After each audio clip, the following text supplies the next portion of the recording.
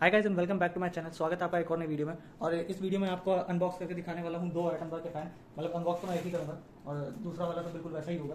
तो इसलिए अब मैं एक फ़ैन पर कंसनट्रेट करता हूँ। इस फ़ैन को मंगाने से पहले मैंने एक और फ़ैन मंगाया था और वो था दूसरी कंपनी का और क्रॉम्पटन का था। वो थोड़ा सा आवाज़ कर रहा था तो मैंने फिर इसको बदल दिया और इस आइटम बॉक्स को मंगा लिया क्योंकि इसको लोग ज़्यादा ट्रस्ट करते हैं। बॉक्स के अंदर कुछ आपको इस तरह से देखने को मिलता है। ब्लेड अलग है और मोटर का पार्ट अलग है। ये मैंने इसका वाइट वाला कलर मंगाया है। अब इसको खोलते हैं। और गाइज़ ये मुझे पड़ा है लगभग टू थाउज़ेंड सेवन हंड्रेड का। और कैसे पड़ा है मैं आपको बताता हूँ। ये था three hundred three thousand five hundred eighty rupees का। लेकिन फ्लिपकार्ट में एक ऑफ़र था कि अगर आप पुराना पंखा वापस कर देते हैं तो पुराना पंखा वापस करने के लिए आपको इसमें सात सौ रुपये का ऑफ़ मिलता। तो मतलब मेरा जो पुराना पंखा था, जो एकदम बेकार हो चुका था, जो कबाड़ी वाला सौ रुपये मिलता, उसको फ्लिपकार्ट ने एक अच्छा दाम पर ले लिया मेरे से, और मेरा भी पैसे बच गए। तो उससे मेरा सात सौ रुपये का बचाव हो गया। और ये आपको बैटरी देखने को मिलती है, यहाँ पर रिमोट है, ये ऊपर इसका हैंगिंग वाला है, ये रॉड है। रॉड थोड़ी सी बड़ी है, और इसको बाहर निकाल लेते हैं। और अब इसके अंदर का आपको दिखाता हूँ। ये है इसका कैनोपी और ये है मोटर और ये तो फिटमेंट ये सेफ्टी वायर है। इसको देखते हैं कैसे लगाना है। और अब बारी आती है विंग की। तो मैं आपको बता रहा था कि मैंने उसको कैसे खरीदा था। तो जो बाकी जो गूगल पे आपको गूगल पे से काफ़ी ऑफ़ मिल जाता है। गूगल पे से मुझे ऑफ़ मिला था लगभग डेढ़ सौ रुपये का और ऑफ़ मिल गया था गूगल पे से पे करने पे। तो वहाँ पे भी मेरे पैसे बच गए थे और सौ रुपये का सुपर कॉइन लगा दिया था तो उससे भी बच गया। तो लास्ट मुझे एकदम बहुत ही अच्छे दाम पे मिल गया ये पंखा। और समझ लीजिए कि किस्मत वाली बात है कि ये वाला मिल गया। फ्लिपकार्ट वाले आपसे ढाई सौ रुपये एक्स्ट्रा ले लेते हैं। अगर आप इंस्टॉलेशन उनसे करवाएँगे तो मैं तो खुद ही इंस्टॉल करने वाला हूँ, क्योंकि ये बहुत ही आसान प्रोसेस होता है। अगर आपको थोड़ा सा डर है तो आप इंटर इंटरनेट से फ्लिपकार्ट से आप ऑर्डर भी कर सकते हैं। इसमें तीन साल की वारंटी मैं आपको बता दूँ। तीन साल की वारंटी तो उसके साथ मिलती है, लेकिन टाटा टाटा का एक और वारंटी बढ़ाने वाला प्लान होता है। अगर आप वो ले लेंगे तो आपको चार साल की इस पर वारंटी मिल जाएगी, जो कि काफ़ी अच्छा है।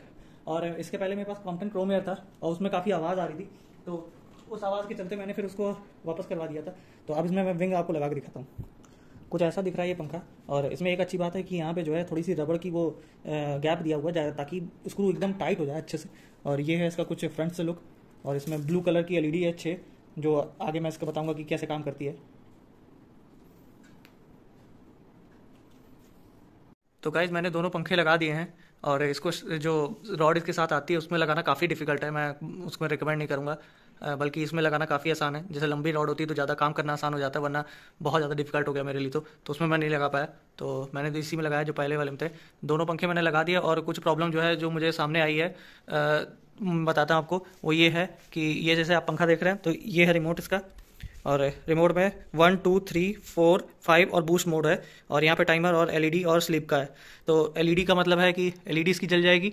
ये और ये से बंद हो जाएगी। फिर स्लीप है कि मतलब कि जितने पे पंखा चलता रहेगा, वो एक एक स्पीड करते करते धीमा होकर बंद हो जाएगा और एक एक घंटे पे। और टाइमर है तो तो आप जानते हो एक कैसे कैसे टाइमर काम करता है।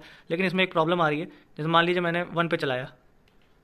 तो वन पे आपने देखा और अब टू पे चलाया। ये टू पे थोड़ा सा स्पीड पकड़ेगा। अब जैसे ही मैं तीन पे चलाऊँगा, ये तीन उसमें तो दिखा रहा है, लेकिन ये जो इसकी असली स्पीड है, वो चार की है। क्योंकि जैसे आप यहाँ पे देख सकते हो, ये भी पंखा तीन पे चल रहा है। और ये भी एक डीमेरिट है इसका, क्योंकि एक रिमोट से मेरे दो पंखे कंट्रोल हो रहे हैं। अब मेरे को, मान लीजिए मैं यहाँ पे लेटा हुआ हूँ और मेरे को अपना पंखा कंट्रोल करना है तो अब मैं अपना अपना तो करूँगा ही, साथ में दूसरा भी कर लूँगा, जो दूसरा बंदा लेटा है तो उसको भी प्रॉब्लम होगी। और ये एक बहुत बड़ा कंसर्न है। इतनी बड़ी कंपनी मुझे नहीं, मुझे यकीन नहीं हो रहा कि उसने ये पॉइंट नहीं सोचा, जबकि क्रॉम्पटन में ऐसा नहीं था। क्रॉम्पटन में आप जिस पंखे को कंट्रोल करना चाहेंगे, वही पंखा कंट्रोल होगा, क्योंकि उसमें जो रिमोट है, वो आईआर वाला नहीं है इंफ्रारेड वाला नहीं है तो उसमें आराम से कंट्रोल हो जा रहा था। इसमें थोड़ी सी प्रॉब्लम आ रही है, और ये प्रॉब्लम काफ़ी सीरियस है।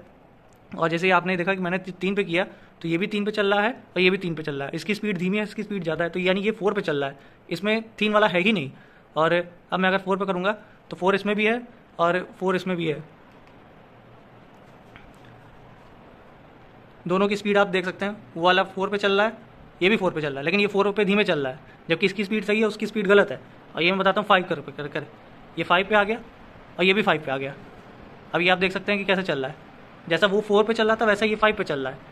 और वो फाइव पे चल रहा है, और वो बूस्ट मोड पे अब मैं बूस्ट मोड करूँगा, देखिएगा, कोई फ़र्क नहीं पड़ेगा। कोई फ़र्क नहीं पड़ा। लेकिन ये वाला वहीं तेज हो गया। तो एक मेरा पंखा सही है, और एक जो है वो खराब है।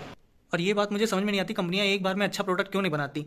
मुझे कॉम्पटन वाला भी मैंने मंगाया तो उसको भी मुझे वापस करना पड़ा। अब मुझे इसको भी वापस करना पड़ जाएगा। ये वाला तो खैर सही है, लेकिन जैसे आप दोनों में गैप देख सकते हैं, मैं एक काम करता दूर दूर से दिखा देता हूँ। ये इतना गैप है लगभग। मेरे ख्याल से एक, दो, तीन या साढ़े तीन मीटर का गैप होगा। तो अब इतने पे ही एक कमरे में पंखे लगते हैं तो इसमें कंपनी को कुछ सोचना चाहिए था और कुछ अच्छी से टेक्नोलॉजी देनी चाहिए थी। अब मैंने एक उनके सलाहकार को बुलवाया है और अब देखेंगे कि वो क्या बोलते हैं और क्या निष्कर्ष निकलता है इन सब बातों का। और उसके बाद मैं आपको कुछ बता पाऊँगा कि क्या हुआ है। एक बात और जो मुझे क्रॉम्पटन वाले की पसंद आई थी, वो ये था कि उसमें जो ये थे नंबर थे, वो अलग अलग नंबर में दे रखे थे। तो उससे ये होता था कि मुझे पता चल जाता था रात में जैसे आप रिमोट उठाते हैं तो आपको गिन लेते थे one two three four five six अब इसमें इस तरह से दिया हुआ है और इतना ये स्मूथ है और इतना एक तरीके से पता ही नहीं चलता कि आप कौन सा बटन दबा रहे हैं। तो ये भी एक मुझे बड़ा कौन लगा कि पता ही नहीं चलता कि आप कौन सा बटन दबा रहे हैं। आपको याद रखना पड़ेगा कि कौन सा बटन कहाँ पे है। और सबसे बड़ी दिक्कत है वो तो यही है कि दोनों पंखे एक ही रिमोट से काम कर रहे हैं। अब ये लोग करवा पाए, सही कर पाए तो ठीक है, वरना फिर एक तो वापस जाएगा ही। बाकी जो इसकी स्पीड है, जो परफॉर्मेंस है परफॉर्मेंस वगैरह बहुत अच्छी है। बस ये एक जो मुझे दिक्कत आ रही है, बस ये किसी तरह से अगर सॉल्व हो जाए तो ये पंखे बेस्ट होंगे। और कोई तरह किसी की, किसी भी तरीके की आवाज़ नहीं आ रही तो वो भी बहुत अच्छी बात है। तो गाइज़ जैसा आप जानते हैं कि मैंने अभी इनके वर्कर्स को बुलाया था तो हुआ ये कि इन, इनमें जो आपको एक नंबर मिलेगा जहाँ अगर लिखा हो तो वो एट एट समथिंग करके है। और बहुत ही बेकार इनकी सर्विस है, कसम से बता रहा हूँ मैं। मैंने कॉल किया उनको, आज सुबह कॉल किया, सत्रह मिनट की मुझे वेटिंग मिली थी। मतलब कह रहा था कि उनतीस बंदे लाइन में हैं और लाइन में उनतीस के बाद मेरा नंबर है। भाई, इतना टाइम किसको लगता है? कौन से ब्रांड को लगता है? सत्रह मिनट की वेटिंग के बाद जाके मेरा नंबर जब आया तो उसके बाद वहाँ से कोई आवाज़ ही नहीं आई। कोई आवाज़ नहीं आई। ऐसा लग रहा था जैसे मैं सत्रह मिनट वेट करके मैंने अपना ही अपना ही बेवकूफ़ बनाया और उसके बाद सत्रह मिनट की वेटिंग के बाद जब मैं वो फ़ोन उठा के मैंने हेलो हेलो कोई किया, कोई आवाज़ नहीं आई, कुछ आवाज़ नहीं आई। सत्रह मिनट वेट करने के बाद कोई आवाज़ नहीं आई तो आप फ़ोन कर गया। आप सोचिए कि सत्रह मिनट मैंने अपने वेस्ट किए ताकि मैं इनको कॉल कर सकूँ, इनके बंदे को बुला सकूँ। इनके बंदे ने कल मुझे कॉल किया था। मैंने उनको दो नंबर इसीलिए दिया था ताकि वो दो नंबर जो था कि एक अगर बंद रहा है तो ये लोग दूसरे से कॉल करके पता कर सके कि क्या बात है, क्या नहीं है। लेकिन पता नहीं इन लोग के दिमाग में क्या था। इन लोगों ने मुझे कॉल एक नंबर पे किया और कॉल नहीं उठी। जब मैं मैं एग्ज़ाम देने गया था तो मेरा फ़ोन स्विच ऑफ़ था। तो मैंने इनको अल्टरनेटिव नंबर इसीलिए दे रखा था ताकि, भाई, तुम कॉल करो। वो कॉल भी नहीं किए दोबारा दूसरे मोबाइल पे और अब पता नहीं आज आएँगे कि नहीं। आज उनका आखिरी दिन है। अगर आज नहीं आए, मैं दोनों पंखे वापस करवा दूँगा। मतलब इतनी घटिया सर्विस यार किसी ब्रांड की नहीं होती। आप क्रॉम्पटन को उठा लो, उसको फ़ोन करो, तुरंत थोड़ी देर में जवाब मिल जाएगा। थोड़ी देर मतलब कि ज़्यादा ज़्यादा एक मिनट।